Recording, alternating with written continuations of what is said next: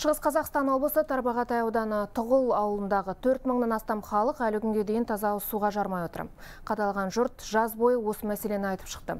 Біздің тілшілеріміз де тамыздың басында аталған елді мекенге барып тұрғындармен тілдесіп қайтқан еді.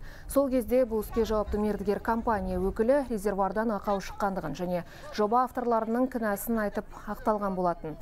Сөйтіп су сұрап сенделген халыққа бір апта ішінде кемшілік жойылады, су беріледі деп уәде етті. Алайда сол уәделі уақыттан бері екі айға жуықтады 800 миллион теңгеден астам қаражат бөлініп ақбұлақ бағдарламасы бойынша салынып жергілікті әкімдікпен қабылданған құбырдан әлі бір тамшы су ақпаған. Ел қазір кестемен берілетін суды місе тұтып отыр. Облыс орталығына келген тұрғындардың бірі бүгінде тұғылдықтардың амалы таусылған. Халықтың шарасыз отырғанын жеткізді. Біз енді барлық инстанцияларға жаздық антикоррупционныйға жаздық облыс әкіміне де жаздық. Нұр отанға да жаздық.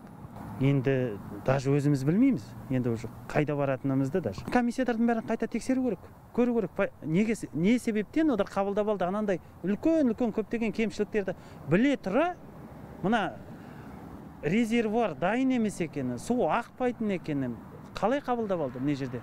Бұрын ғой әкімнен бастап тұрып сұрау керек қой оны.